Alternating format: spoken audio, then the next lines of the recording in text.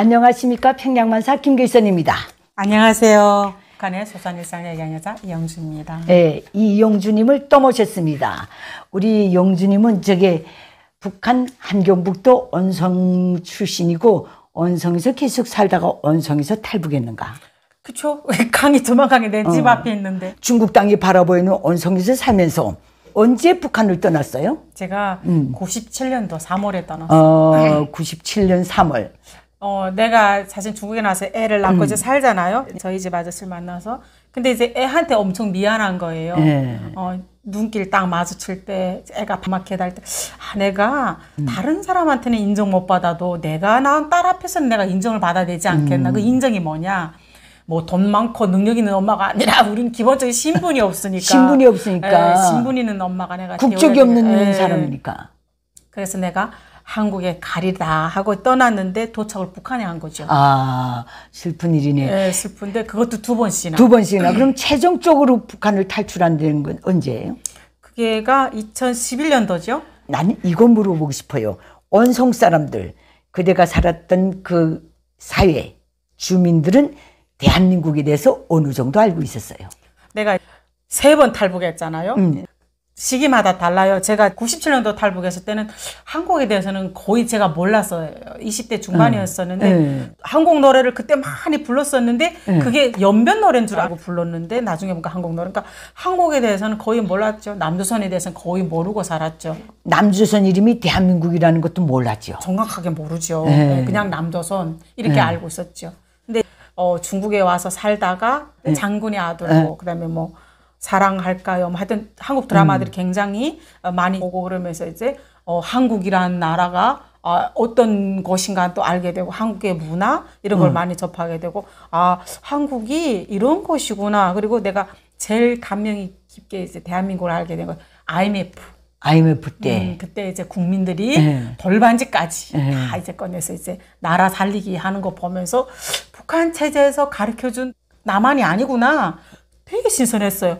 저게 가능하다고? 우리는 계속 지배 받으면서 세뇌 받으면서 살았는데 자율적으로 저 행동이 가능하다고 그러면서 한국에 대해서 가보고 싶다는 생각을 그때 좀 했고 그래서 북송당했을 때는 이미 한국을 알아버렸을 때니까 근데 10년 후에 북송돼서 나가니까 한국을 그때 온송 사람부터 많이 알고 있더라고. 어떤 식으로 알고 있더나요? 잘 산다. 잘 산다. 북한하고 음. 갭이 안 되게 잘 사는 나라다. 음. 근데 어떻게 잘 사는지는 구체적으로 그림을 그리던가. 그래서 사람은 자기가 본 것만큼 상상하거든요. 음. 근데 직접적으로 피부로 보지를 못한 걸 그 사람들이 생, 상상을 상상을. 못하지. 잘못 산다. 응. 그것만 알지. 아, 그 잘 사는구나. 아, 진짜 잘 사니까 다르거든요. 그러니, 그러니까 이제 북한에 있는 사람들이 대한민국에 어떻게 형제가 오고 자식이 와서 악착같이 돈을 벌어서 돈을 보내주면 대한민국은 원래 어떻게 잘 살게 됐는지 월, 어, 그걸 모르니까 탈북민들이 대한민국 와서 길바닥에서 돈을 주워서 보낸 줄 알아. 음, 하늘에서 돈이 떨어진 줄 떨어진. 줄. 예, 예. 그러니까 돈만 보내라 안 나가겠다. 네가 보내준 돈으로 산 TV가 아까워서 못 나간다. 이러고 앉아 있어. 그러니까 그 사람들은 어, 인간이 기본 욕구에서 필요한 삶의 질을 생각, 생각할 게 아니라 이거를 생각하지 물질을 생각한 거지 물질을 그렇지. 어, 이거 아까 봐서 나는 못 가겠다 그러면 그걸 바라보면서 어, 나도 저렇게 될 수 있다고 생각했는가?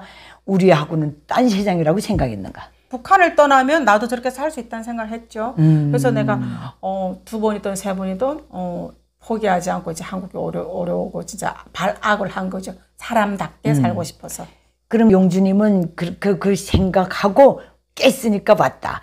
오늘날까지 온성에 남아있는 사람들은 남조선이 잘 산다. 아랫동네 잘 산다. 구체적으로 몰라도 뭔가 우리하고는 다른 삶을 살고 있다는 걸 알지만은 왜 안 나올까?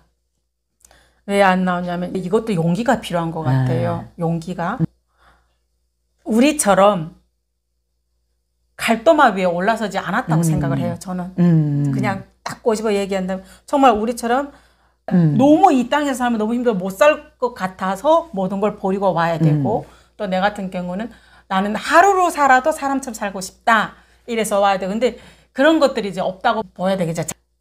대- 키우던 돼지가 아깝고 해놓은 음. 집이 아까워서 못 떠나겠고 거기 있는 친척들이 중앙당에 뭐 해서 뭐- 그거는 이제 나를 위주로 생각한 건 아니죠. 음. 그러니까 우리는 이제 내가 살아야 되겠길래 탈북한 그렇지. 사람들이죠. 응. 이, 그 사람들은 거기에 묻힌 삶, 음. 부모, 형제, 지책, 지, 그 걷지도 않는 재산 남겨놓은 거, 이 모든 걸 버릴 용기가 없- 없는 거고. 그렇죠.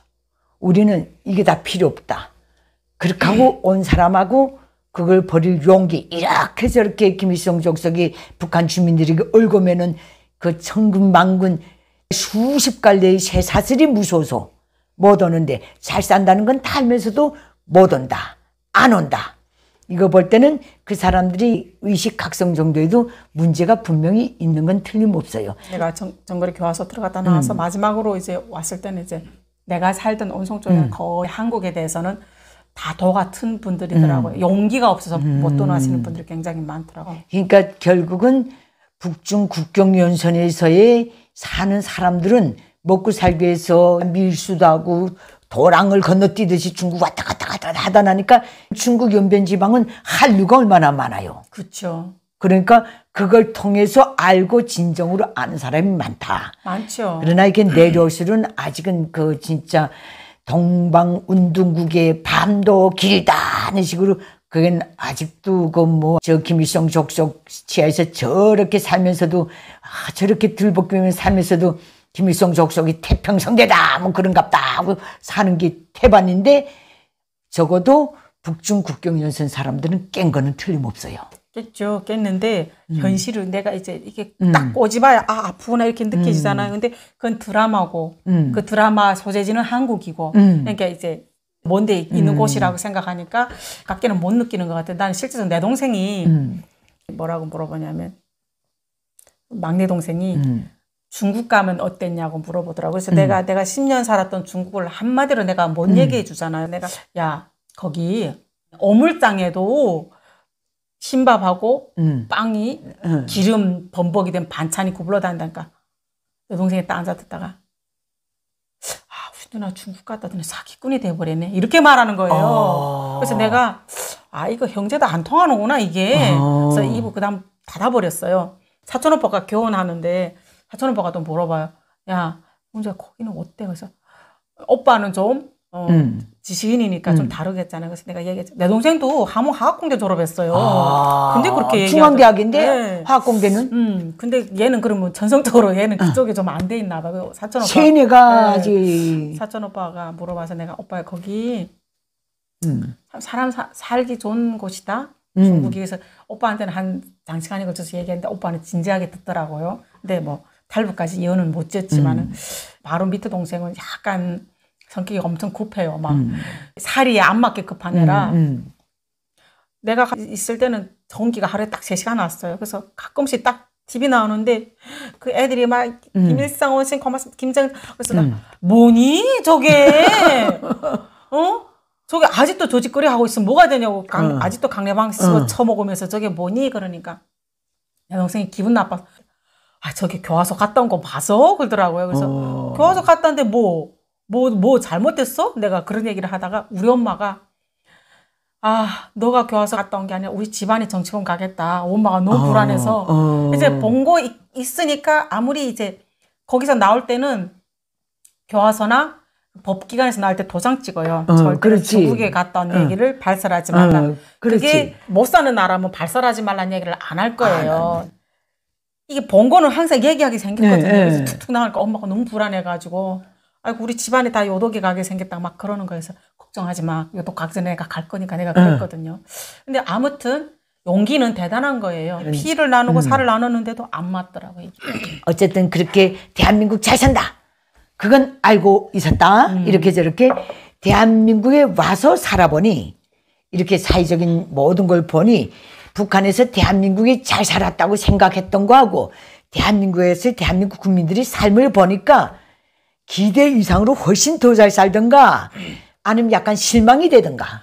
실망은 안 되죠. 실망은 음. 안 되고 나는 어 딱 나온 첫날에 그 횡단보도 건너느라고 이게 음. 딱서 있는데 무슨 생각이 드냐면 야, 나는 내가 인격 있고 인권 음. 있는 사람인 줄을 태어나서 처음으로 생각했고 실감해 봤거든요. 어. 아, 나도 인격 있구나. 내가 사람이라는 거를 그때 음. 처음 알았어요. 내가 그랬고 음, 항상 이제 살아가는 사람들이 굉장히 감사하죠. 저도 이제 살면서 맨날 좋은 일만은 음. 예, 있을 건 아니에요. 어, 그렇지. 근데 그래도 감사함이 제일 전머리에 있으니까 이제 음. 모든 것들을 헤쳐나가게 되거든요.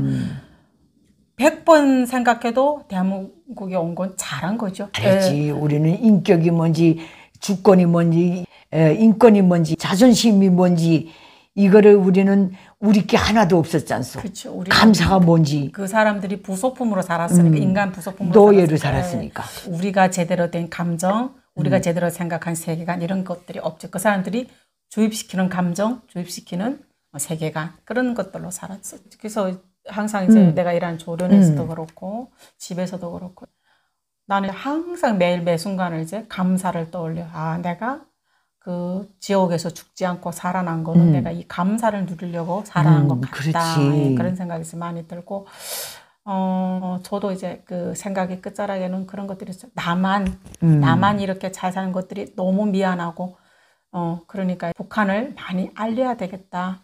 그러니까 우리가 탈북해서 중국 연변에 나와서 숨어 다닐 때 연변 사람들이 우리를 깨우쳐 주는데도 굉장한 작용을 했어. 그렇죠. 음. 그렇지. 남조선 가라고. 그렇죠. 여기서 이러지 말고 남조선 가라고. 우리는 웬만하면 정말 웬만하면 잡아만 안 가면 거기서 살고 싶은데. 그렇죠. 그렇죠. 그렇잖아. 어. 그 부모 형제가 바라보는 온성도 심심하면 나와보고 어찌면 소리도 질러볼 수 있는데 그래도 우리는 정말 목숨이 안 끊어지자고 조금 더 좀, 좀 낮게 살자고 중국 조선족 사이 제일 먼저 뛰어들었는데 여기서도 자꾸 잡아가니까 거기서 가만 놔뒀으면 우리 여기 못 왔을 수도 있어. 음, 안 왔을 수도 있어. 그렇고 이제 음. 어, 중국에서는 내가 중국의 불을 이미 음. 경험했으니까 아 그럴 수 있겠다 한국이 음, 음. 그리고 이제 가면 뭐 신분을 준다니까, 음. 어, 사람답게 국적을 준다니까, 어, 사람답게 살 수 있으니까 가야 되겠다. 이게 이제 어, 생각의 도화선을 이제 딱 불 붙여준 음. 거지. 아, 죽어도 살아도 저기 가야 되겠다. 음. 그 우리 대한민국은 자유대한으로의 미수복 지역의 북한 주민들에게 자위 빛이 되고 희망의 등대가 되고 삶의 동아줄이 되어가고 있습니다. 이 모든 것이 우리 다 이렇게 천신만고에서 피눈물 흘리면서 대한민국에 온 우리 탈북자들의 영향력도 크고 또 어찌 보면 중국 조선족 사회의 영향력도 크고. 이 모든 게 다 있는 것 같아요. 어떤 진리가 역사하는 것 같습니다. 이 모든 것을 저는 최근에 들어서는 매일매일 느끼고 있습니다. 우리 이 한반도에서 소중한 당당히 승리한 체제인 자유대한민국을 기치로 해서 모델로 해서 북한이 자유화되는 그날까지 우리 평양만 만사 방송은 이 모든 것을 대한민국 국민들에게도 알려드리고 북한 주민들에게도 깨우쳐 주기 위해서 최선을 다해 나갈 것입니다. 아, 오늘 이 주제는 여기서 마치도록 하겠습니다. 감사합니다. 안녕히 계십시오. 음.